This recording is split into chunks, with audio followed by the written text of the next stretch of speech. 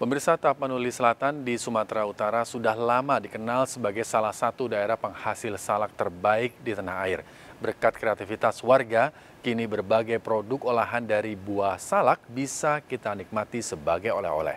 Dari keripik salak, dodol, hingga kopi biji salak.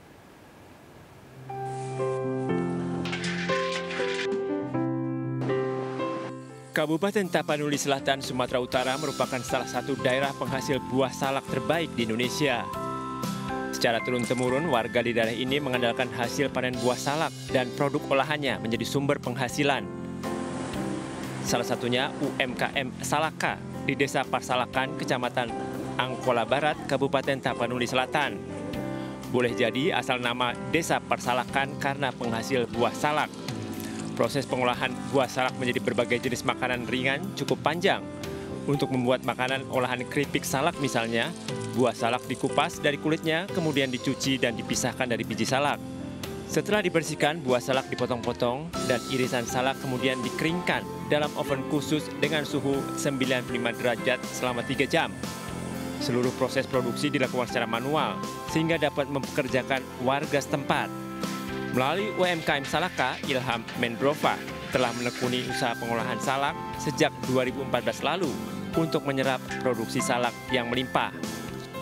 Karena pertama bahan baku yang melimpah, yang kedua ini kita melanjutkan niat dari almarhum Papa untuk meningkatkan nilai dari buah salak itu sendiri.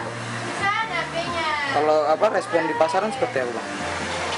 Respon di lapangan alhamdulillah baik bang, karena ini adalah makanan khas dari Tapanuli Selatan karena Tapanuli Selatan itu terkenal dengan salak tapselnya Bang. Warga di Tapanuli Selatan juga memanfaatkan biji salak sebagai produk minuman, yaitu minuman kopi salak. Proses pembuatan kopi salak lebih lama. Sebelum diolah, biji salak harus dijemur selama 15 hari. Biji salak yang telah kering dipanggang seperti pembuatan kopi dan kemudian ditumbuk halus dengan menggunakan alu. Produk salak olahan cukup digemari warga karena rasanya yang khas. Ya, kita juga pulang untuk oleh-oleh. Untuk juga pulang. Sebagian kita ngasih oleh-oleh ke luar kota juga ke Medan. Sebelum pandemi, penjualan produk olahan salak UMKM ini menjangkau berbagai daerah di tanah air hingga Pulau Jawa. Nah, Anda yang berkunjung ke Kabupaten Tapanuli Selatan bisa mencoba produk olahan buah salak dari Desa Parsalakan. Tak hanya keripik salak, ada juga dodol salak, kecap salak, dan juga kopi salak. Harganya pun cukup bersahabat. Anda cukup merogoh kocek Rp15.000 hingga Rp50.000 untuk mendapat salah satu produk olahan salak khas Tapanuli Selatan. Dari Tapanuli Selatan, Sumatera Utara, Indra Mulia Siagian melaporkan.